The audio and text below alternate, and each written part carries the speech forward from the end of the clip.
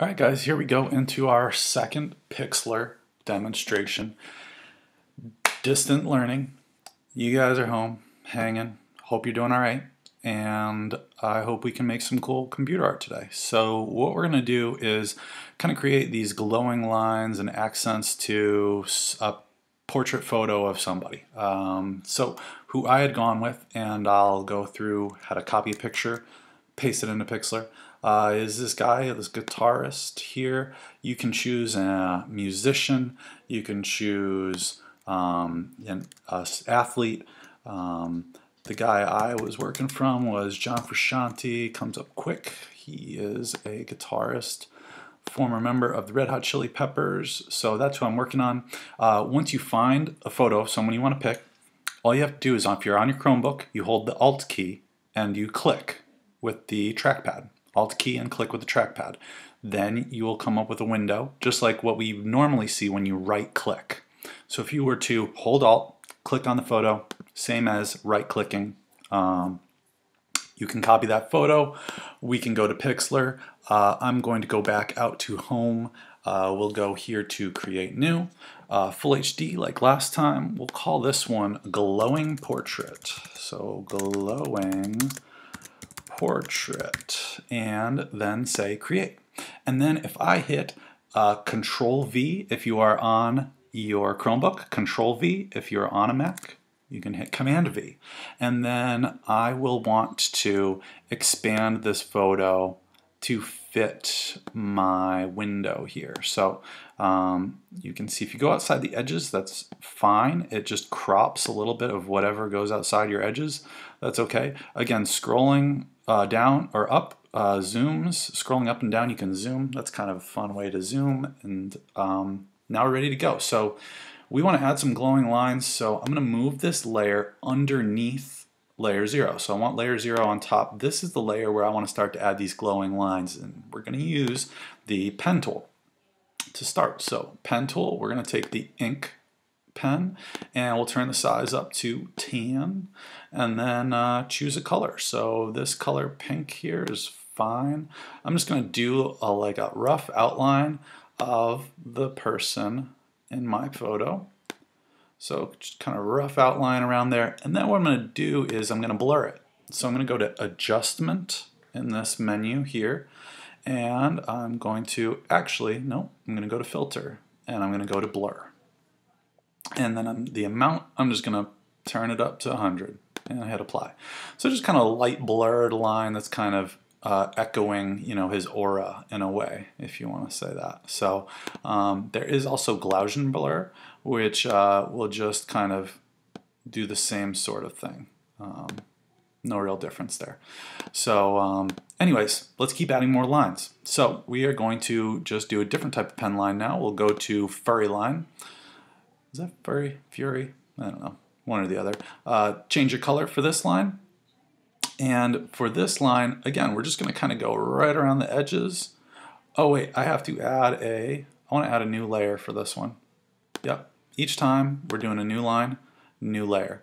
So uh, again, kind of coming around this line, maybe following it a little bit, maybe not following it exactly, trying to do some other little stuff. This brush actually does some kind of neat stuff when it overlaps each other. Um, I didn't really like that last bit, so I'm going to Control Z to uh, start a new one. Again, just kind of going over some of these lines and making this kind of echo line or a line if you will. Uh, let's try again now a trail line. All right, so this one's the cool one. Uh, I'm going to scroll down to my layers panel, hit the plus sign for a new layer. Uh, let's pick a new color for this line. Let's say something bright. This green will work. I'm going to kind of make this line now bend as if it's kind of bending around and then going behind him and coming in front and then going in back. So I'm going to do it in sections. So I'm starting here and I'm kind of going behind and then I'm going to curve around and then go back to the other side. Now I think I might want to adjust that line that I did there and the size is up so that's good and I think actually what I want to also change is the amount. I think I want the amount to be up higher with this one. The higher the amount the more of that like spread, yeah see that the more of that like spread wavy kind of line you get there. We want that nice wave. There we go. Cool. So now that line kind of like goes back, and I can even go over this one maybe again. Yeah, just add a little extra there. Um, so now I have this kind of line that kind of wraps around him, and uh, that one I could blur too if I want. Uh, any one of these you could add blurs to if you want to. You don't have to add blurs to all of them. Um, and maybe I'll do one last one here. So this is going to be the last layer line that I'm going to add. And so if I go to uh, the sketchy or let's say parallel lines for this one, I'm going to try a new color that I haven't used yet, something of an orange yellow here. And then I'm just going to do a couple last lines where these lines kind of like shoot out from the sides, kind of towards the angles. And you see it just kind of makes like a repetitive parallel sort of line. And these ones I definitely want to add a blur to. So we'll go to Filter and Blur and then just pump the blur on these guys so that they aren't so kind of chunky. Um, and then I'll hit apply and there we go. We've got a pretty cool little drawing that has some glowing lines. Oh yeah, last thing I wanted to do. I forgot to do it to this layer 3, the wraparound layer. Uh, you also have layer styles with these layers, just like we do in Photoshop. So if you click on these little three button icons here, uh, you'll get to the blending modes and transparency. So opacity and blend modes are here. And let's just change this one to screen. And what that does is it just makes it like a little transparent sort of three see-through. Now you can play with any of these, whichever ones work best for you uh, is cool. And then the other thing you can do too that I didn't say yet is that if you hit these arrows here, um, these little arrows make uh, your layer either visible or invisible. And um, yeah, so you can see, you can see it in the history here. So um, anyways, this is looking pretty good. So I'd say this is a wrap. So one more time, let's go over saving real quick. We'll go File, Save, uh, Glowing Portrait, JPEG, Quality on High.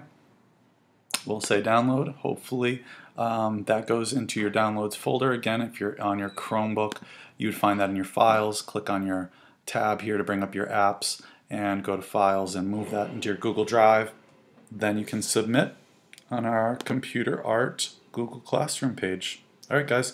Hope you have fun. Let me know if you have any questions or issues, but I hope you have a lot of luck getting creative with your own project.